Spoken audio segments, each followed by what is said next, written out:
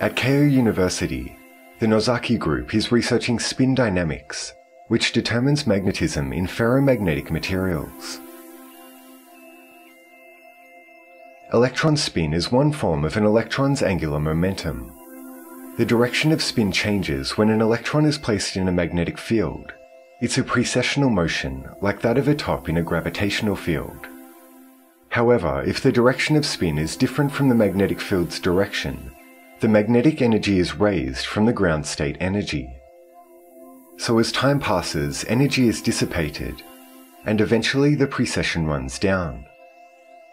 The relaxation time of magnetic precession is generally less than 1 nanosecond or 1 billionth of a second. But in next generation magnetic devices, which operate faster than the relaxation rate, this precession has a big effect. The Nozaki group is studying magnetic resonance phenomena in order to reverse magnetization at high speed with high energy efficiency. The group is also researching a new method for reversing magnetization using microwaves,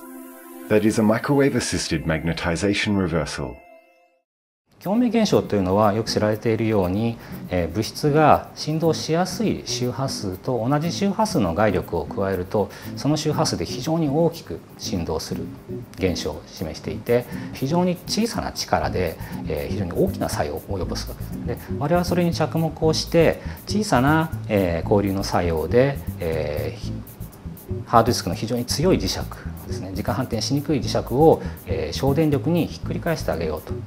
いう研究をしています。今実際にもあのハードスクに近い材料とかいろいろな材料で実験をやってるんですが時価の再差運動の周波数と同じ同程度の周波数の、えー、交流の磁場なり交流の電流なりを加えることによって非常に大きな再差運動すなわち、えー、磁気的なエネルギーを非常に大きく高くしてあげる。その結果自家反転に必要なエネルギーというのを低減してで、えー、できるだけ小さなエネルギーで自家反転できるようにするというのがマイクロ発シト自家反転です。In an ordered alloy of iron and platinum, which is expected to be used as a next generation magnetic recording medium, the magnetization is hard to fluctuate by thermal agitation but the precession frequency exceeds 100 GHz. This is one of the issues that still remain before microwave-assisted magnetization reversal can be applied to hard disks. So the Nozaki group is doing experiments on ways to reduce the precession frequency, while maintaining the thermal stability of the magnet. 共生共鳴の、えーと、研究自体も古くからやられてたんですがあのやはりその最近の、えーと、技術の発達その測定技術の発達とかによって、えー、非常に高い周波数の、えーと、信号を発生させたりそれに対する応答を測定したりとかっていうことが周波数領域でできるだけではなくて、えー、時間領域時間変化としても見れるようになったと。でその再差運動とかですねそういったその通常であれば緩和してしまってわからないような、えーと、現象というのがあらわに見えるようになってきてでそこをその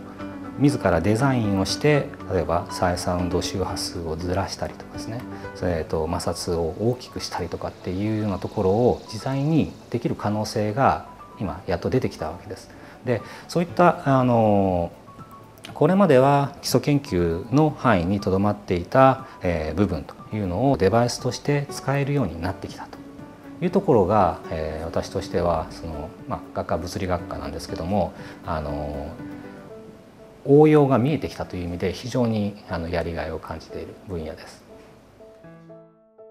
The non-volatility and fast responsive spin are expected to be key factors in achieving high capacity storage and high speed computing as information technology continues to advance. To make such developments a reality, the Nozaki Group will keep working to enable a unified understanding of spin dynamics through resonance phenomena.